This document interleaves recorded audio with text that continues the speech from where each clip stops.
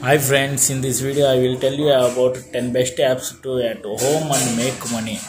Drömmar vill du spara till din dröm, men inte har disciplinen att börja. Dreams-appen kan hjälpa dig att spara för dina drömmar. Ladda ner appen och skapa en dröm. Då sparar du den. Du öppnar ett unikt Dream Account, sparkonto på Bank of Holland och loggar in med BankID. Alla pengar du sparar kommer att överföras hit. Självklart bestämmer du hur mycket och hur ofta du vill spara. Nästa två, kompis. Alla vet att du måste ha en budget. Men detta ord låter väldigt tråkigt. Hur man kommer igång. Med Buddy-appen är det enkelt och roligt. Nu kan du enkelt skapa en budget och få superkontroll över din ekonomiska situation. Du kommer snart att ta reda på hur du får de pengar du kan spendera på roligare saker. Nästa tre, slantar med Slantar-appen kan du sammanställa dina utgifter. Prenumerationer och andra fasta utgifter och få en bättre överblick över din ekonomiska situation. Appen fungerar som en kombination av Tink och Mina tjänster och hjälper också till att avbryta prenumerationer som du inte vill behålla. Många betalade mycket för olika prenumerationer som de inte använde. Men nu är det över. Nästa fyra. Välj om du vill spara pengar och investera i medel kan Opti-appen hjälpa mycket. Opti-appen är gratis att använda och gör det enkelt att spara. Appen säkerställer att du kan spara på rätt medel och hitta de lägsta avgiftsalternativen. För att komma igång måste du ladda ner appen och svara på några enkla frågor. Och sedan tar Opti hand om resten. Väldigt lätt. Nästa fem. Förskott. De flesta tycker inte om att spara på aktier och fonder. Men om man tänker på det på lång sikt är det sparformen som ger bäst avkastning. Med Avanza-appen är det enkelt för dig att komma igång eller uppleva. Starta ett gratis konto och försök att investera i indexfonder. Det här är vanligtvis en bra start. Nästa 6.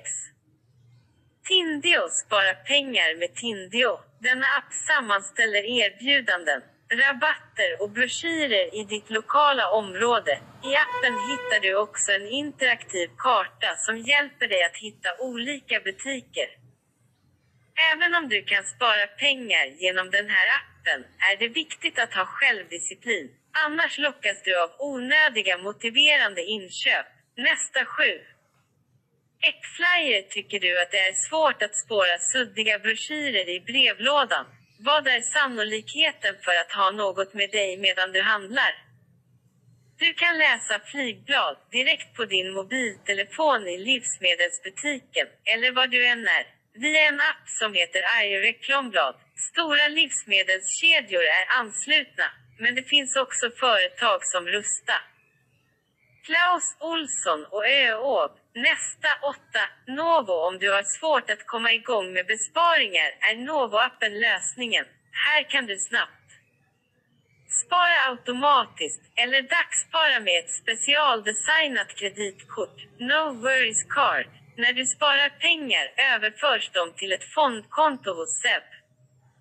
Som vanligtvis returnerar mer än ett vanligt sparkonto. Men om du är intresserad av att investera i aktier och fonder kan Avanzas app vara ett bra val. Nästa nio. Återbetalning Återbetalningar är en klassiker i det här fallet och du får en bonus eller återbetalning för dina inköp när du handlar genom en återbetalning.